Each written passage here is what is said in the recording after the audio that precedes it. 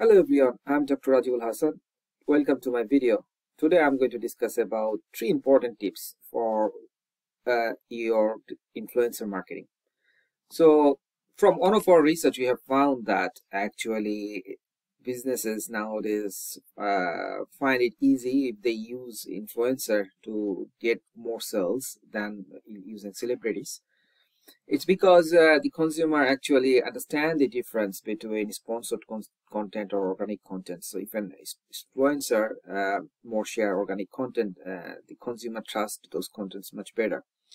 So that's why influencer marketing is very important for your business. But then there are uh, common mistakes businesses are making when they're choosing the influencer. So that's that's why this video is, and I'm going to talk about those uh, uh, those tips um, I already shared in a blog in, in our website upnotion.com where from you can also get other blogs to improve your digital marketing skills and get to know more uh, information about digital marketing and artificial intelligence uh, or digital transformation in this blog.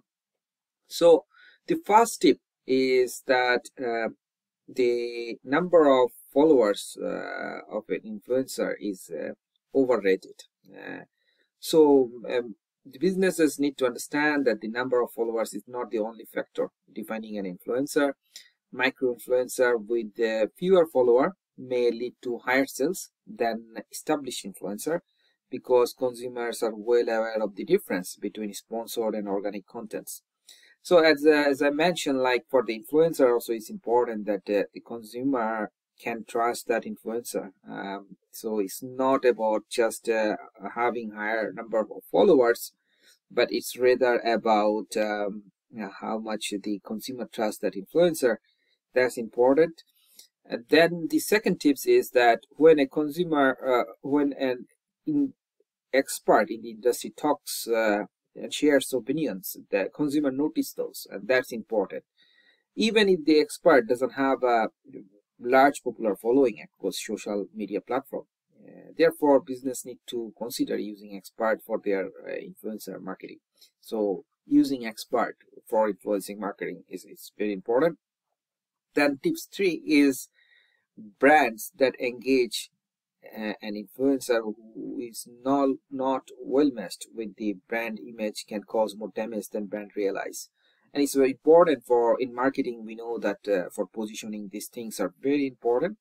So that's why uh, if you are positioning your brand in a certain way and if your brand has a certain positioning and you need to choose an influencer who will be consistent with that positioning. And that is important because if you choose an irrelevant uh, influencer uh, who doesn't really uh, goes very well with your brand image, uh, then it can do more harm than it can do something good.